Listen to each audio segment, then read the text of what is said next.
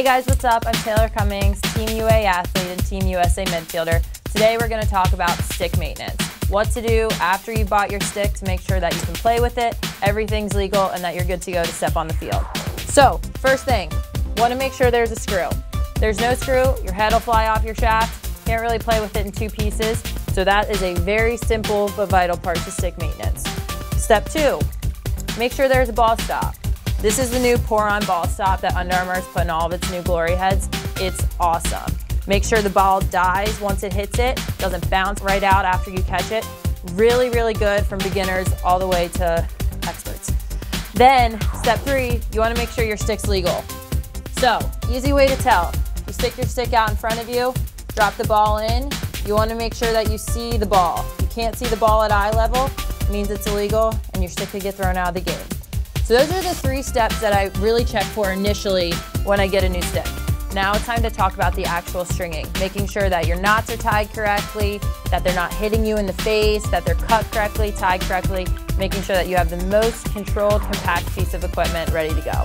So first things first, these two middle strings, really important.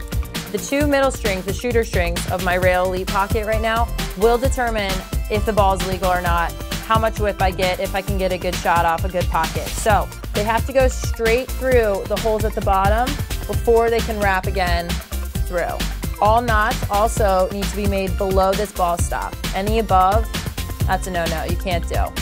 Also, what's really good about this Rail Elite pocket is that it has the cut-off leathers. They're pre-stretched, that the ball sits really nice. It doesn't get illegal. Um, and these are actually legal in the US game, so I can use these bad boys for my uh, Baltimore ride play. So what I like to do when I start to deal with these middle strings is I like to tie a knot at the base of my head so that it doesn't get illegal. I like to play with a pretty flat pocket, don't like a huge pocket in my stick, so I want it to be um, kind of as flat as possible. So I like to do a giant knot right at the base, and then I just twist it around in front to make sure that the knot doesn't come out. There's nothing worse than having to retie your strings during a game. So making sure these knots are stuck and holding before time really saves you a lot of trouble during it. Now I like to deal with these outside leathers. So I always like to have these leathers a little tighter than my, than my Rail Elite pocket so that I can have a deeper pocket with my Rail Elite, but the leathers keep me legal. So Again, any knots that you're gonna make need to be below the ball stop, so they can't be above or you're gonna be illegal. So you're gonna do a couple quick knots at the ball stop, like so. And then I like to just tie this bad boy right underneath so that doesn't whip me in the face. Um, so that's sort of what I do with my strings at the bottom. If these are too long, I'll just grab a piece of tape, tape over it, make sure I don't get caught with it in the draw. Now onto these strings. These ones can be really long. Sometimes they're out to here. And if you're ever cradling tight near your face, they can whip you in the face.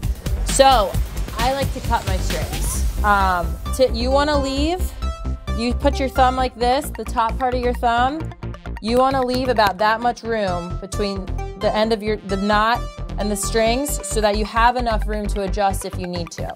You don't wanna cut these too short because then if you need to retie them, you're kind of out of luck.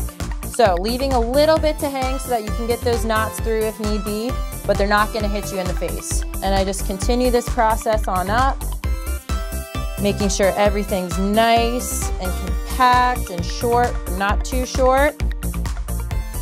All right, now you're good to go. But you can't just leave them like that. If you leave them like that, you're gonna end up with giant frays at the end of your stick, and then you're probably gonna have to get a new one.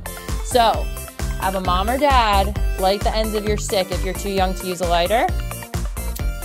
And then you're just gonna burn the ends. So you wanna make sure, you don't wanna light them on fire, but you wanna make sure that they get a little melted around the plastic so that they don't fray. All right guys, so that's how I maintain my stick. Quick three tips. Screw, check. Ball stop, check. Legal, check. Be sure to get your new Under Armour Glory Head and Rail Elite Pocket at lax.com today.